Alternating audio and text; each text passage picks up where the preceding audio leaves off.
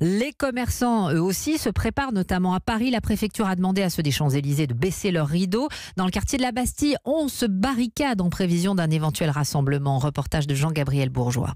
De grandes plaques en métal viennent juste d'être installées sur les fenêtres de l'agence de la Banque de France. Tout autour de la place de la Bastille, beaucoup de restaurants vont fermer demain, comme celui que gère Florent. On va enlever tout ce qui est nos terrasses, nos, pots de fleurs, on va barricader nos vitres et euh, ici on en a beaucoup en plus. Donc on va mettre des plaques de bois partout et euh, on va fermer et on attendra que ça passe. La place de la Bastille est en ce moment en plein chantier, des travaux de réaménagement et les services de la mairie de Paris ont commencé à retirer tout ce qui pourrait servir aux casseurs, comme l'explique Sandrine qui travaille dans un café. Euh, tout ce qui est pavé, euh, les barrières et tout ça, bon, tout ce qui peut être utilisé comme arme en fait. Hein.